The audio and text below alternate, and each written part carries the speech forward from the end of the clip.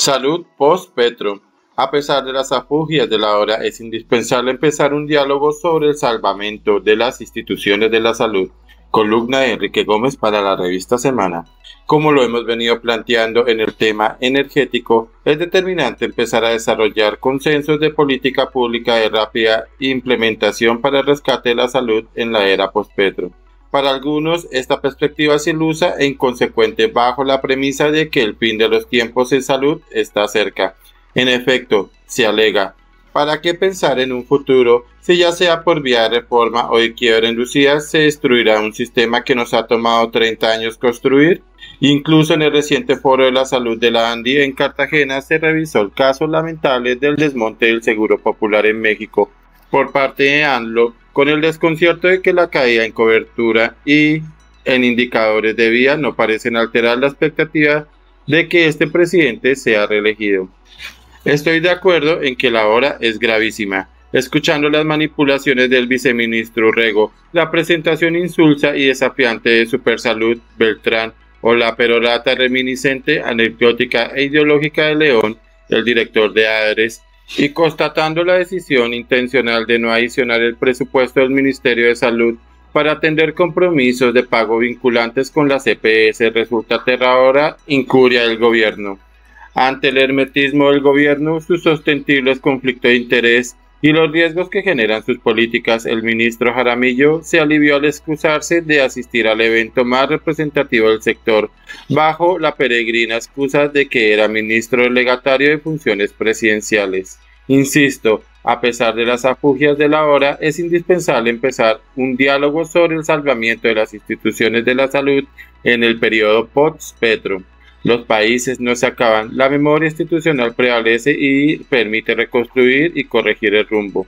Más allá de ese reto para el futuro gobierno, hay que crear instancias de diálogo al margen de este gobierno autista frente a retos de acceso, oportunidad, transparencia, prevención de riesgo médico, sostenibilidad financiera y garantías laborales que impiden que el sistema de salud se consolide y se mantenga dentro de las premisas de cobertura resolutividad y costo-eficiencia, que lo destacan a nivel mundial.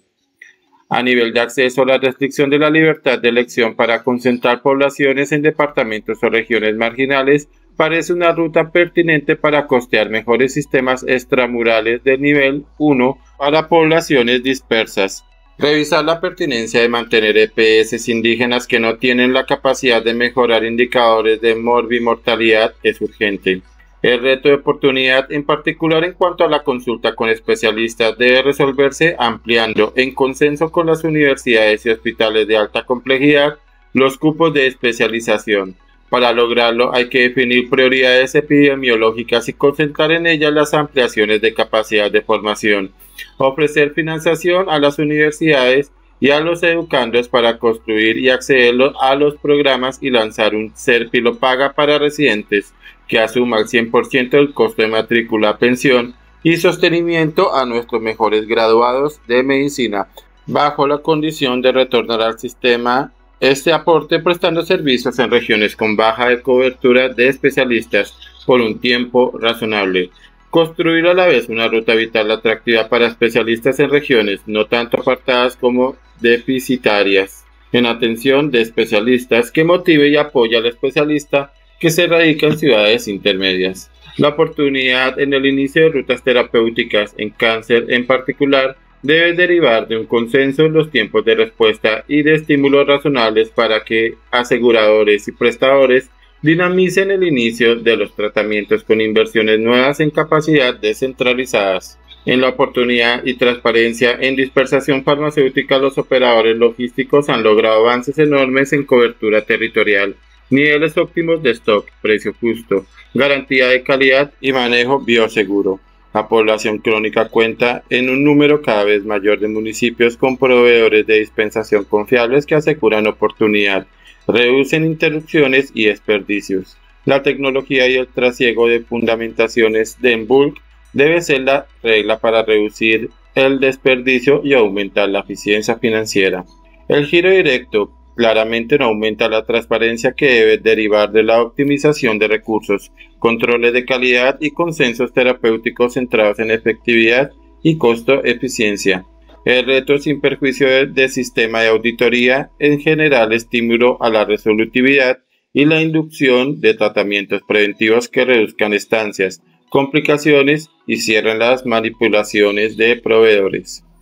Hemos logrado altas eficiencias en costo, como lo demuestra nuestra inversión per cápita versus la cobertura, resolutividad, indicadores y estado del arte implementado. Podemos seguir mejorando en esta ruta, pero debe aumentarse el porcentaje de cotizantes en el contributivo, vía depuración del CISBEN y reducción de la informalidad laboral. Hay que prepararse desde ahora para un futuro post-Petro que garantice cambios radicales y rápidos, que impidan que la semilla de destrucción sembrada en este gobierno traiga el fruto de nuevos gobiernos de izquierda.